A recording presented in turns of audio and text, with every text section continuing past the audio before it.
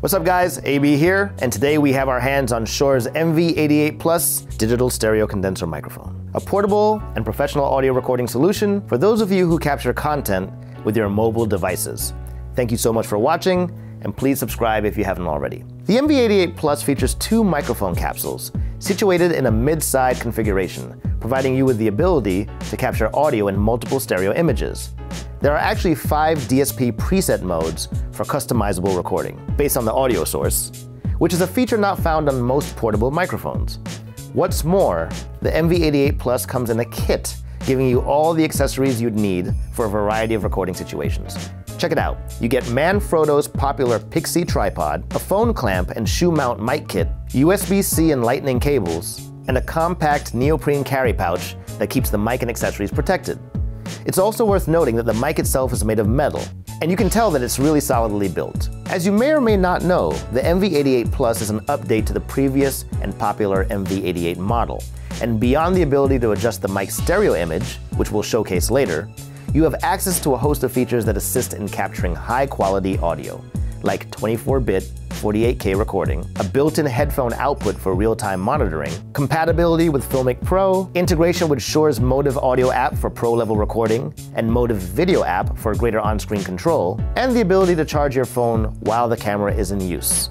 This charging feature only works with an iPhone that is paired with Apple's USB 3 camera adapter. So while we're on the subject of compatibility, the MV88 Plus works with iPhones and most Android devices. However, when using an Android phone, you are required to use the Shure Motiv Video app to operate the camera, while iPhones give you the option of also using Apple's built-in video recorder.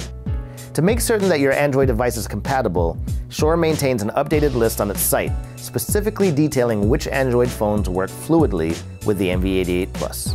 Whichever platform you're using, the true power of the mic is accessed via the Shure Motiv app, which lets you control an impressive number of parameters. Look at the mic setup page, for example. There are over a dozen functions, and that includes sub-functions, from mic gain to stereo width to EQ to compression, that you can manipulate to get your setup just right. Conveniently, there are also preset modes that tailor the mic to specific recording applications. And I'm talking about speech, singing, flat, acoustic, and loud, each of which adjusts the stereo width to best accommodate that particular application. There's even a figure eight pattern, which lets two people use the mic simultaneously.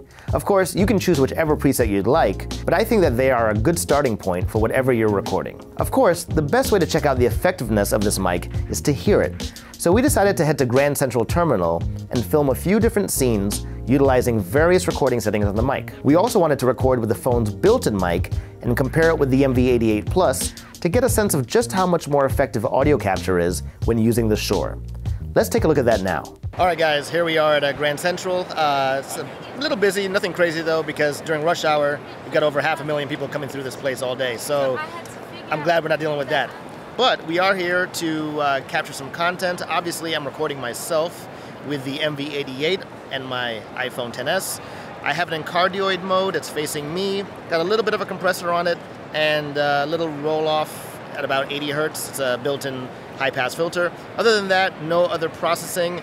And I'm wearing earbuds. Normally, when I'm doing real audio work, I wouldn't wear earbuds, but I think just for the compatibility in terms of just being portable and what a lot of people are probably going to use if they vlog, uh, this is something that you would see on other people recording themselves or vlogging or what have you. So, what we're doing here is because Grand Central is such a big place and has so much stuff going on, it's the kind of place where if you were recording content, you could basically find a whole lot of stuff to record and you would want to record that in different ways. So for example, I'm recording myself, so I'm using a cardioid pattern with a mic facing me. But suppose I wanted to capture the ambience of the place.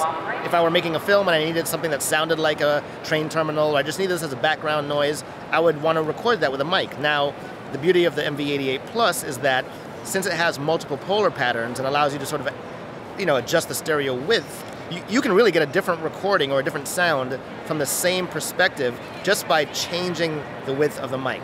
So why don't we do this? Why don't we record something using the phone's built-in mic, and then we'll record the same scene, or at least from the same perspective, and adjust the stereo width of the MV88 Plus to see what kind of a difference that gives us and how much more professional uh, it sounds.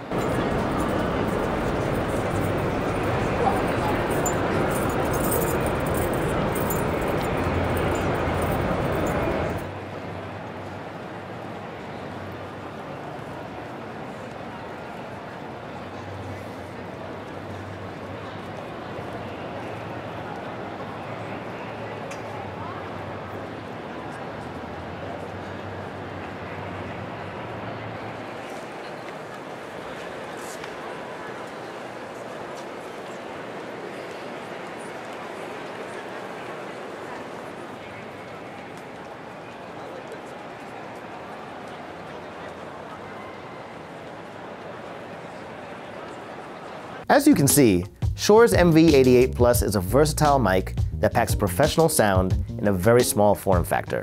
Whether you're a vlogger, videographer, mobile journalist, or any other content creator who likes to record while on the move, this is definitely a piece of gear you should check out. Thanks again for watching, and see you next time.